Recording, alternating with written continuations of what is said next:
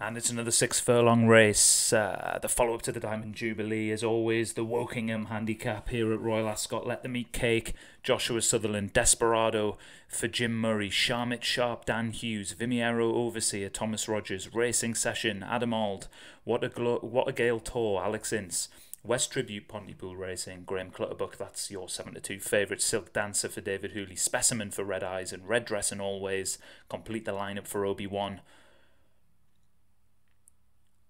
And they're off and running. And what is a small field for that Wokingham handicap here at Royal Ascot? A lot of horses decided to take their chance in the big one, the Diamond Jubilee, and uh, Silk Dancer off into the early lead, but being passed now by Desperado, who's actually looking for uh, a three-timer, I believe, after he was only disqualified last time out, or something like that happened. But it's uh, Desperado's in good form coming into this handicap race, but it's West Tribute, the favourite.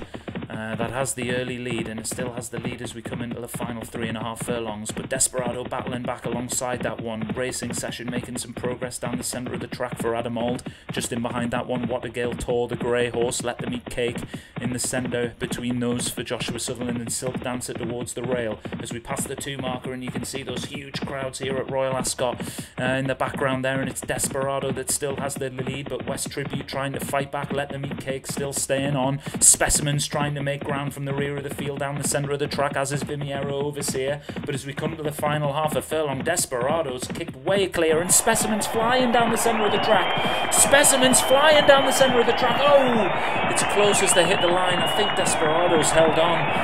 Specimen really set home for that one and tried to catch it. And as they come to the line, yeah, I think Desperados got it and held on for Jim Murray. Look, the big price uh, coming into the race, trainer in form as well. And yes, Desperado has just held on for Jim Murray, wins it by a head from Specimen for Red Eyes. Must have thought that one had just pinched it on the post, but a great run nonetheless. Silk Dancer stayed on into third for David Hooley. Fourth is Let Them Eat Cake, Joshua Sutherland, and fifth, Vimiero Overseer for Thomas Rogers.